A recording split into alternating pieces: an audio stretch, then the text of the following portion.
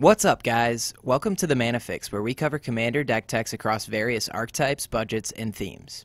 Ikoria just dropped, and boy, is this set full of awesome commanders. I wanted to bring attention to one of the commanders that has some serious combo potential. Nethroi Apex of Death is a 5-5 legendary cat nightmare beast with Death Touch and Lifelink for 2 generic and 1 of each Abzan color. Nethroi has Mutate for 4 generic mana, 1 Selesnya hybrid, and 2 black, so 7 total. It says, when this creature mutates, return any number of target creatures with total power 10 or less from your graveyard to the battlefield. So this is a massive reanimation spell stapled onto a commander.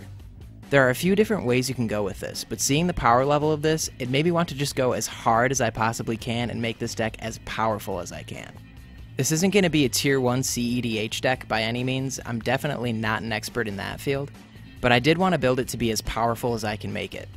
So this is a Reanimator combo deck. We're going to be filling up our graveyard with some self-mill dredge type effects, and then either mutating our commander or casting another recursion spell in our deck to bring our creatures back to the battlefield and combo out with them.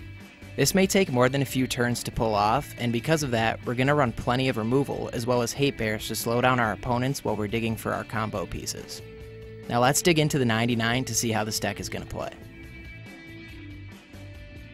Now that mutate ability on Nethroi is 7 mana, so we're going to want plenty of ramp to get us there faster. Avacyn's Pilgrim and Elves of Deep Shadow are both 1 green mana for a creature that taps for 1 mana. Avacyn's Pilgrim will add white, and Elves of Deep Shadow will add a black and deal 1 damage to us.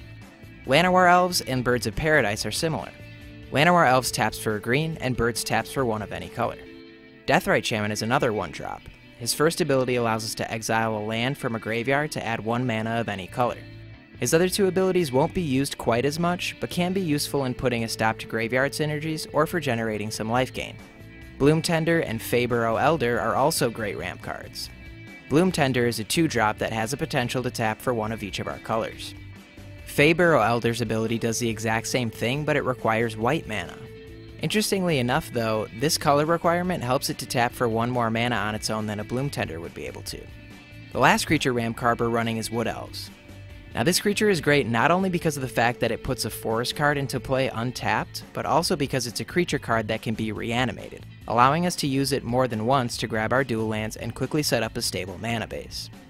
Now we're running some artifacts to ramp us as well. These cards are going to ramp us very quickly to help us get to that mutate ability a lot earlier. Now keep in mind, I tried to make this deck as optimal as I possibly could. So with that said, Mana Vault and Mana Crypt are fantastic additions that are going to boost us ahead by multiple turns. And obviously, it would be stupid not to run Sol Ring as well. Drawing cards is another important element to a combo deck. First up we have Dark Confidant and Sylvan Library.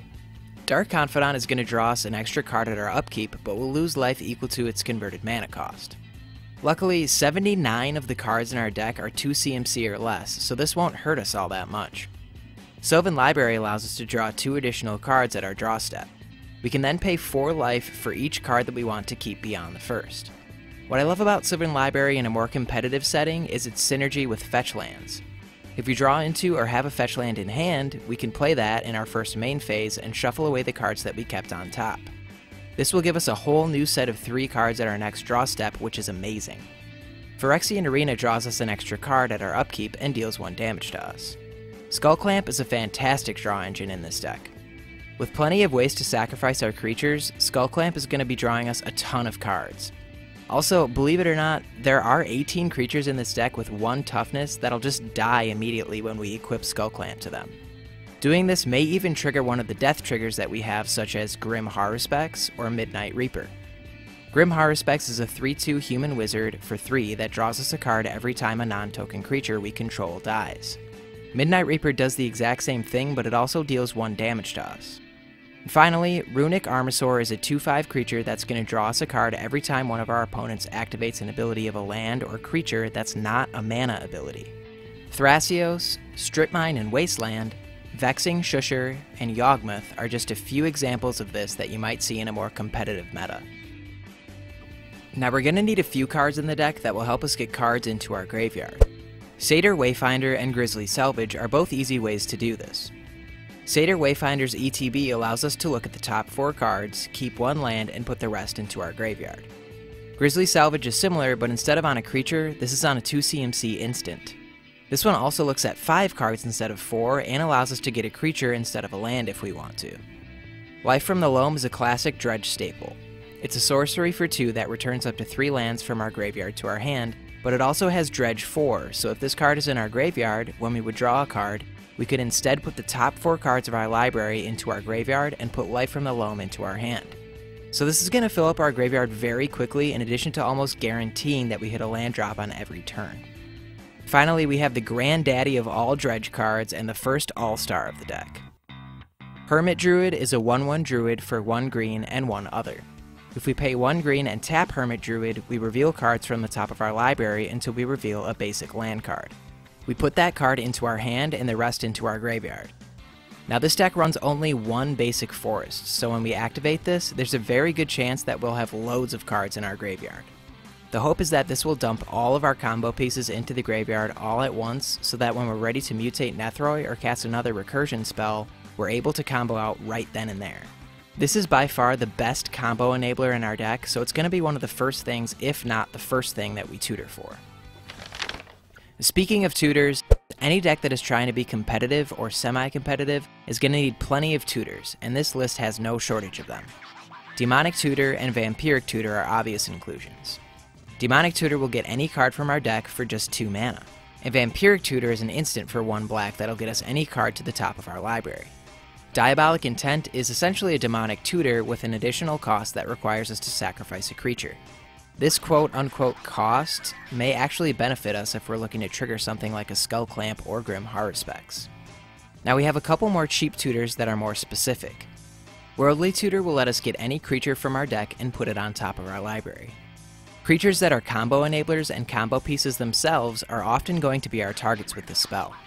Enlightened Tutor can find an artifact or enchantment for just one white.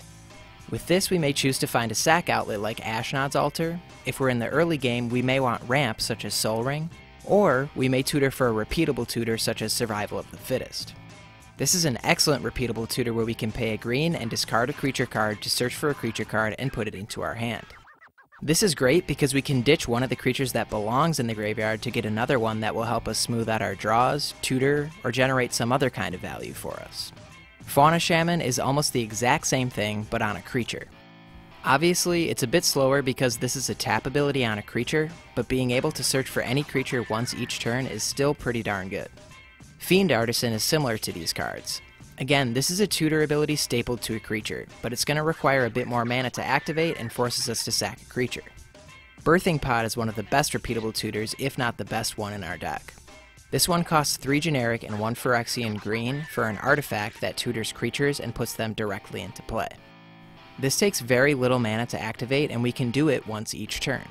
Also, something noteworthy of these two cards is that they require us to sacrifice creatures which, again, could potentially be generating us some additional value if we have one or more death triggers on the board. Not to mention the fact that those creatures we sacrifice can be reanimated later. Finally, this is a reanimator deck and we want creatures in our graveyard. Entomb and Buried Alive are going to do just that. Entomb allows us to search our library for any creature and put it into our graveyard for one black. Buried Alive does the same thing, but for 3 mana, it allows us to search for up to 3 creature cards and put them into our graveyard. Now, as I said before, it may take us some time to pull off one of our combos, and one thing we're going to want to do is slow down our opponents a bit. So with that, let's go over the hate bears that are going to make our friends hate us. First, we have Eidolon of Rhetoric and Spirit of the Labyrinth. Eidolon of Rhetoric says each player can't cast more than one spell each turn. Having this creature stick to the battlefield is really going to help slow down the game dramatically. Spirit of the Labyrinth says each player can't draw more than one card each turn. This will prevent our opponents from getting ahead with card advantage. Now remember, both of these effects will apply to us as well. The nice thing about running Hate Bears in a deck like this is that we'll often have the ability to sacrifice them if we need to, since we're running several ways to sacrifice our creatures. Next, we have a new card from Ikoria. Drannith Magistrate will cost one white and one other for a creature that says your opponents can't cast spells from anywhere other than their hands. So obviously this affects a few things, one being some recursion effects like Yawgmoth's Will or Past in Flames, but the most important thing that this does is to stop our opponents from being able to cast their commanders. This will have a pretty meaningful effect on most of our opponents. It's safe to say that most commander decks like having access to their commander. Some even rely on it as a main value engine in their deck. To shut that card down is devastating to a lot of players.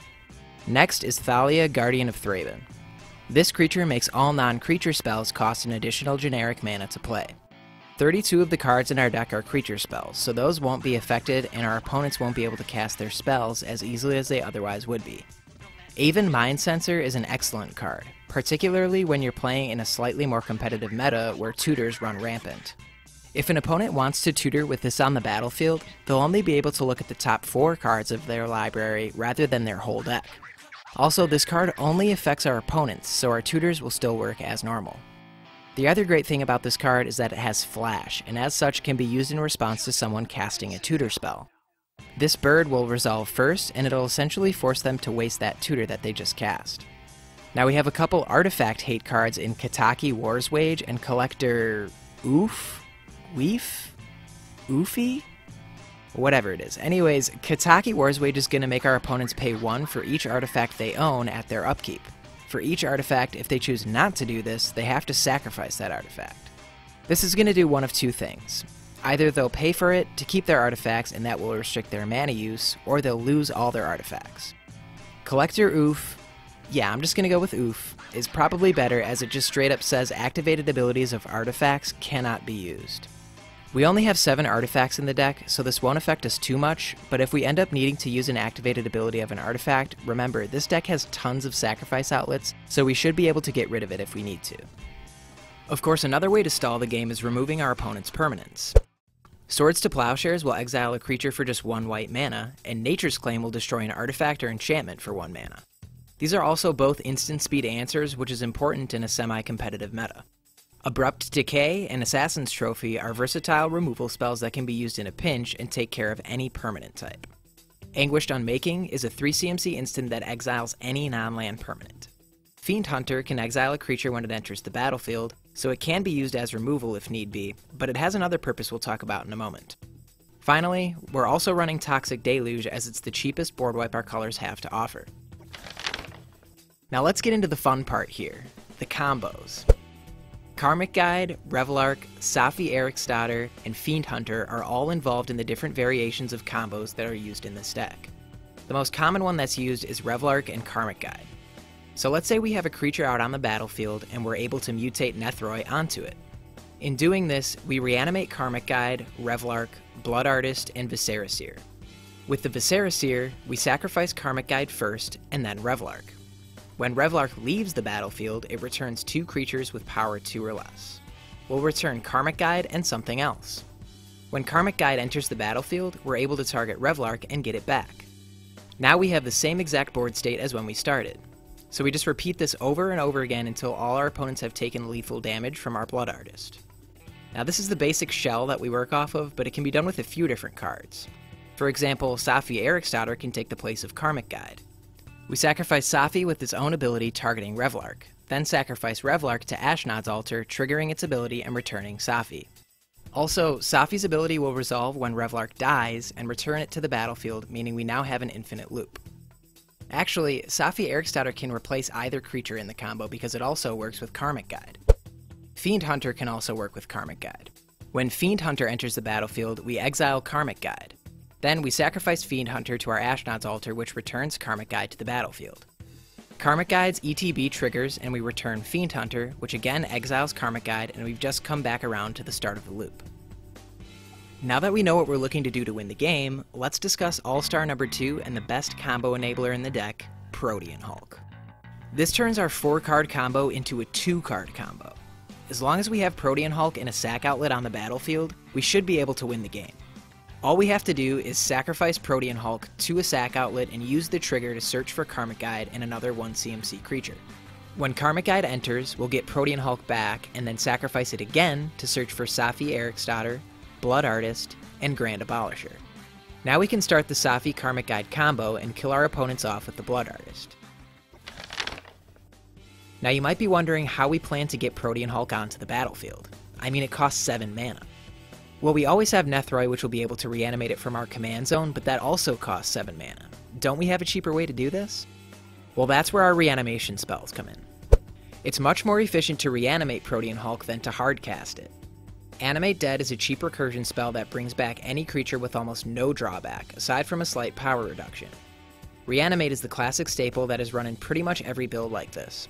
One black mana to get any creature back from our graveyard to the battlefield is darn efficient and we don't really care about the loss of life. Apprentice Necromancer is a 2 mana creature that can be sacrificed to get a creature back to the battlefield for a turn. We have to sacrifice that creature at the end step, but we should be able to accomplish what we need to do in that turn anyways. And being forced to sacrifice the creature is actually a good thing if we're targeting Protean Hulk with this. Now we have two spells that can bring back multiple creatures at once. Living Death and Wake the Dead. Living Death essentially swaps all creatures on the battlefield with all creatures in graveyards. The idea is that when we cast this, all of our combo pieces will already be in our graveyard, so we'll be able to combo out and win the game and we won't have to worry about what our opponents were able to bring back with it. Same goes for Wake the Dead. This one is an instant which is great because it allows us to wait for the most opportune time to combo out.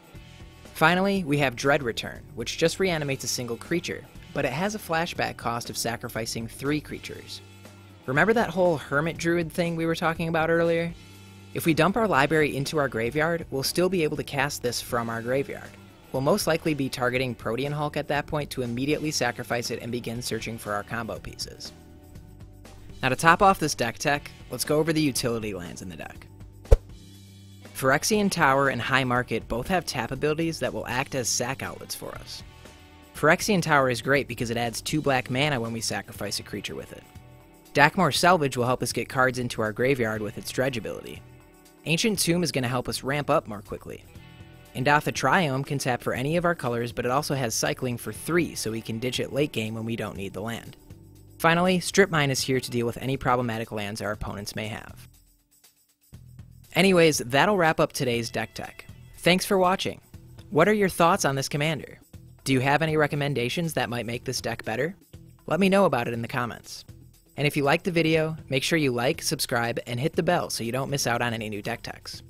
You can also follow us on Twitter at the ManaFixMTG. Thanks for getting your fix with me today. Stay safe out there, and peace out, guys.